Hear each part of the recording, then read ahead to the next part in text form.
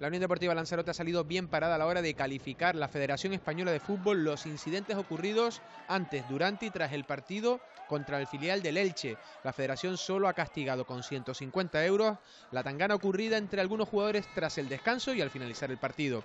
Una sanción mínima contra la Unión Deportiva Lanzarote que muchos creen que se debe o ha influido. Para ello el favorable informe oficial de la Policía Nacional donde el comisario Luis Mayandía aseguró en él que en ningún momento se produjo invasión de campo y restando importancia o dándole la justa, según otros, a los incidentes ocurridos esa tarde del domingo. Desde la directiva rojilla se cree que la sanción es justa. Nosotros sabíamos que las consecuencias tendrían que ser mínimas porque Nunca se invadió el terreno de juego por aficionados, como bien explicaba el árbitro en el apartado del acta, aparte del informe policial que fue muy positivo defendiendo a la entidad, pero no porque la defendiera, porque fue la realidad y entonces una vez hechas las alegaciones, ayer se reunió el comité de competición y nos han puesto la sanción mínima, que son de, de 0 a 600 euros. Nos han puesto una sanción de 150 euros por los hechos que ocurrieron en el descanso entre jugadores de ambos equipos, incluidos los nuestros, que hay algunos, como ya he explicado, que se pasaron un poco en ese aspecto, pero sí deja zanjado que jamás el público influyó en nada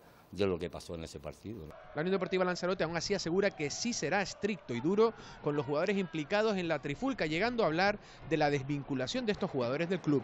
Eh, Falo ahora mismo está desvinculado ya de la Unión Deportiva Lanzarote, termina el contrato y lo más probable es que quede desvinculado él y no sé si algunos más. Son decisiones que vamos a, analizar en frío porque son consecuencias muy graves y que queremos evitar por todos los medios. La Salud siempre ha sido un equipo limpio sobre todo y que jamás hemos tenido estas trifulcas en el estadio y somos un equipo en todos los sentidos un equipo deportivo.